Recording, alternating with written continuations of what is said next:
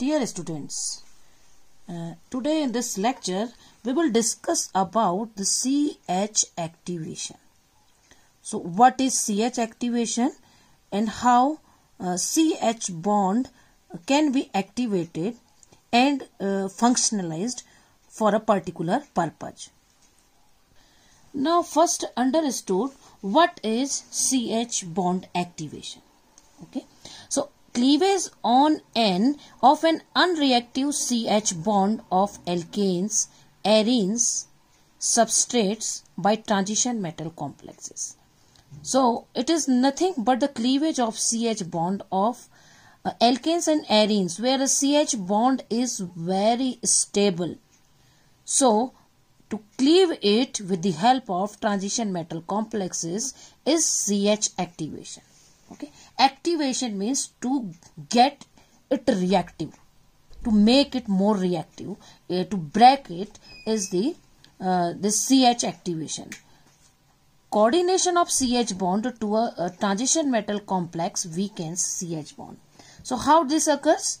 Usually this CH bond it coordinates with the transition metal complex thus weakens the CH bond.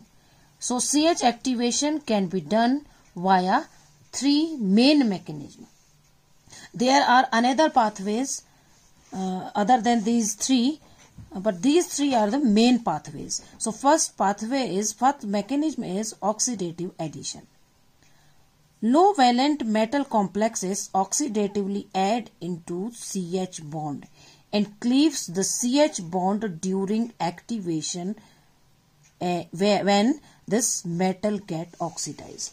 So we have already studied these oxidative addition in detail and there you have seen that the, uh, the metal complex in its low valent uh, state. Okay? So oxidation state of valence uh, that metal center in metal complex was low and then it can easily oxidatively add the compound containing CH bond. And during this reaction this oxidative addition this activation metal get oxidized so its oxidation state increased by 2 along with the coordination number uh, and electron count. So now you can see the example. This is a metal complex and when this metal complex in its low valence state it reacts with a CH bond containing compound then it can easily oxidatively add. You can see that this RH bond this R is an alkyl or aryl group so there is one CH bond. So this CH bond break cleaved and then this R and this H they can separately attach to this metal atom. So this is the oxidative addition through which CH activation can be done. Second type of uh, mechanism is electrophilic activation. So in this electrophilic activation, hydrocarbon get attacked by electrophilic metal center and displaces proton from hydrocarbon. Now in this activation you can see that this is a metal complex and when this reacts with this uh, uh, compound containing CH bond then it can this complex can abstract this proton uh, this, uh, remove the proton and then uh, add this R to itself. So thus it is activating this CH bond and remove this proton from this uh, compound that may be alkyl or allyl uh, having CH bond. So in this way it can activate the CH bond through electrophilic attack. Now the third main kind of mechanism is sigma bond metathesis. Sigma bond metathesis is actually uh, the shifting of bond. Uh, uh the reaction proceeds through four center transition state bond breaking and bond formation takes place simultaneously. In sigma bond metathesis, actually, the bond shifts during sigma bond metathesis, bond shifts.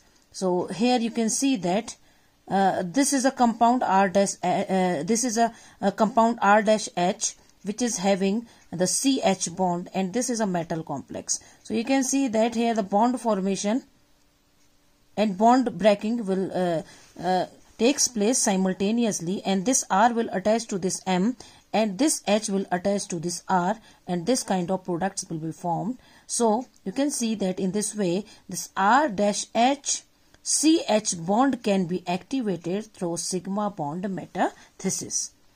Now uh, there are some examples of oxidative addition. How through oxidative addition uh, this uh, CH bond activation takes place. So I will show with the help of examples. Now this oxidative addition may be intramolecular and oxidative addition or may be intramolecular oxidative addition. So this is an example of intramolecular oxidative addition where you can see that here the CH bond this has to activate. This is the C, this is H, okay. So this is the metal part, this is electron rich metal center.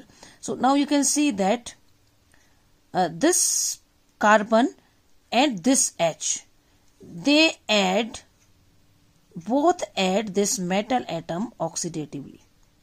Okay?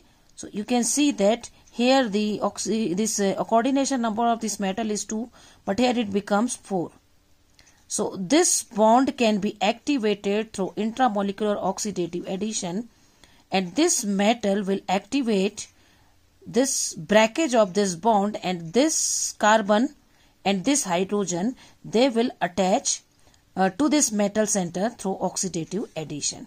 And after removal of this hydrogen, this kind of uh, complex will be formed. So this is organometallation reaction. So in the organometallation reaction, this is an example of CH activation through intermolecular oxidative addition.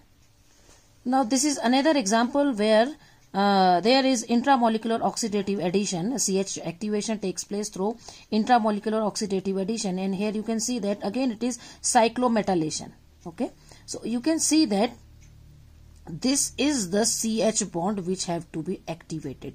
This CH bond will be cleaved. How? This metal center with intramolecular uh, uh, oxidative addition with this CH bond. So you can see that this C and this H will bond to this metal center. This is oxidative addition. This is intramolecular oxidative addition. So after removal of this HX, cyclometallation will takes place. So this is uh, an example of CH activation that is intramolecular through oxidative addition. Now these are the examples of intermolecular oxidative addition uh, CH activation. So you can see this is an iridium complex and when this iridium complex react with this RH this bond uh, this uh, uh the CH bond in this RH has to be activated.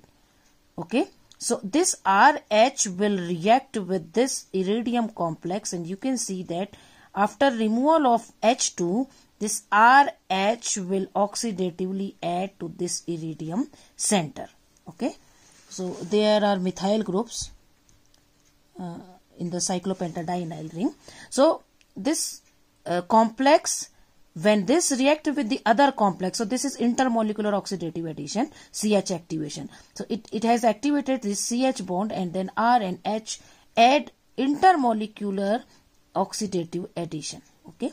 Now this is again uh, the complex where you can see that here this is the PPH3. It is the example of intramolecular. Okay. So you can see that PPH3 from this PPH3 1 pH. This is 1 pH. So in inside this CH activation will takes place. So this is the example of again intramolecular oxidative addition. This is cyclometallation reaction. While this is the example of intermolecular oxidative addition reaction. Now, uh, this is an example of the other uh, activations may be possible. So, this is electrophilic activation of CH bond and this activation can takes place via platinum catalyst, catalyst or uh, by palladium based catalyst. So this is a cycle that is representing the platinum catalyzed CH activation and that is through electrophilic activation. So in this electrophilic activation, you can see that there are two platinum complexes. So this is platinum second and other uh, that is platinum 4. So two platinum complexes they have been taken for activation of CH in an alkyl or aryl group. So we have taken here the methane where the CH bond has to be activated. Now in this activation you can see this platinum second complex. This adds this CH4. So this CH4 will be added here and during this addition this uh, Cl minus present in the solution they uh, they remove the H plus and form HCl and then this CH3 will bind and form such type of complex. Okay. After formation of this complex, there is an another platinum complex that is PT4 plus that will act as an oxidizing agent and that will actually oxidize this CH3 to CH3OH. So it will uh, reduce itself uh, it, it converts it uh, from 4 oxidation state to 2 oxidation state and oxidized uh, this uh, methane group to this CH3OH. Thus activates uh, the CH bond. So this has also functionalized this uh, H group to OH. Okay. So this is a kind of activation where one PT uh, second complex is the activating metal complex. It activates the metal and then the other uh, platinum complex that is platinum 4 that uh, acts as oxidizing agent and that will actually uh, if, uh, acts uh, to functionalize the C activated H. Okay. So this is a platinum, platinum based CH activation. This is the palladium uh, catalyst based uh, CH activation. During this uh, CH activation, oxidant will be benzoquinone and it also has a, a kind of cycle, this catalytic cycle. And here also CH activation, you can see that this bond. So at the ortho position to this group, this is the center of CH activation. So here this will add it at the ortho position to this group and here the CH activation will takes place in presence of palladium catalysts. A palladium catalyst used was PDOAC whole twice in presence of acetic acid. This is sigma bond metathesis through which CH activation can be done. So uh, in this reaction you can see that this is this is the zirconium complex and this zirconium complex will activate this carbon hydrogen bond and you can see that through this point through this carbon atom this group will attached to this ZR. So uh, this is a kind of sigma bond metathesis. Now if we add this olefin to this complex you can see that now bond shift i have also uh, already told you that metathesis means bond shifts or bond changes so now this group will add here and it, it will add it through this ZR. So you can see that how this ZR complex can activate CH group of this, CH group of this. So this is a kind of sigma bond metathesis through which CH bond activation can be done. Now the final product will be uh, this kind of uh, compound. This uh, is the uh, uh, this is a, another product and this is one of the product. So this is the reaction through which CH bond activation of this compound of this compound can be done by using organometallic compound. Now another method is the hydrogen transfer reaction of alkanes.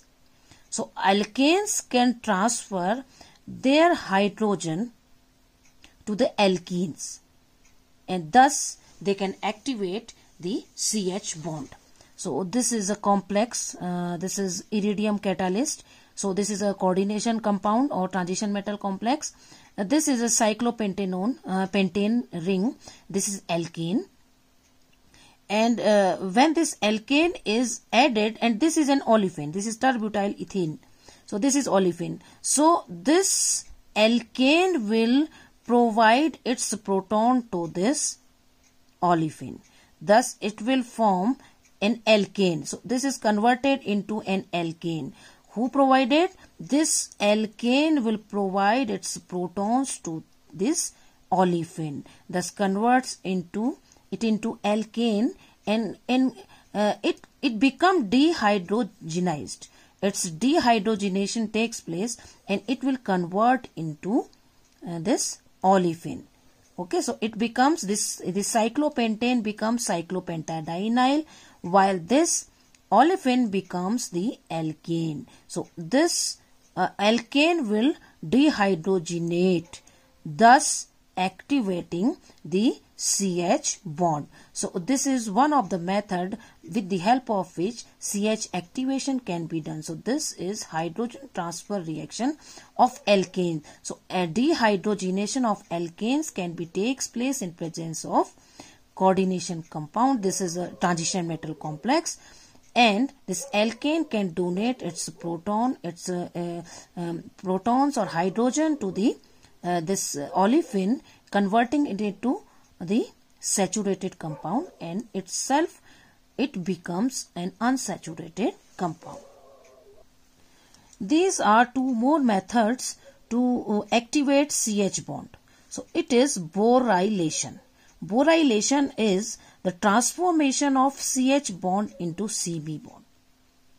Okay? So thus activating this ch bond. So removal cleavage of this bond and then addition of boron here. So this ch bond will uh, transform into cb bond. So this is the reaction where you can see that this is a compound in which ch activation has to be done so this is the part where ch activation will be done so uh, this is the group that is bis pinacolato diborane. So this is the group of boron which is going to react with this compound in presence of rhodium catalyst at 150 degree centigrade from 5 hours to 80 hours. Now you can see that this group will activated in this CH will activated and formation of CB bond will takes place okay so this is a kind of CH activation where you can see that CH can be transformed to CB bond. So this is known as borylation. Borylation can be helpful in activation of CH bond. Now the last type of reaction is Murai reaction. So Murai reaction, what is Murai reaction? In aromatic compounds with ketone or imine group, activation of CH bond occurs at the ortho position of this group. So this is Murai reaction. You can see this is a compound containing uh, a ketonic group in the site uh, uh, as a substituent in this benzene ring and then uh, the other group can be added to this ortho position of this group so this this ch bond so there is the ch bond so this ch bond can be activated by the reaction of such kind of olefins which can add to the ortho position to these carbonyl or imine groups thus activating this ch bond so this is a ruthenium complex at 150 to 190 degree centigrade. This group will attach to the ortho position to this ketonic uh, in the aromatic compound to this ketonic group thus activating this CH bond. So now we can summarize the CH activation. CH activation actually is defined as the cleavage of an unreactive CH bond of alkanes or arenes uh, in the presence of uh, this uh, transition metal complexes okay? So this ch activation can be done by various reaction mechanism uh, that may be oxidative addition. Oxidative addition may be intramolecular or intermolecular then it may be uh, uh, that electrophilic activation. Then it may be sigma bond metathesis. It may be hydrogen transfer reaction of alkanes. So it, it can be also known as dehydrogenation of alkanes and it may be through borylation or through Murai reaction. So thus this CH bond activation can be take place. This is an important activation because when we activate this CH bond or when we, we are uh, we uh, can uh, activate or cleave uh, this CH bond then only we can functionalize this H and can convert into other kind of groups and can synthesize uh, a number of compounds from the CH bond containing compounds. So this is the first step. This CH activation is the first step in the CH functionalization. Then we can functionalize the H with the other functional group if CH cleavage can takes place. So thank you very much.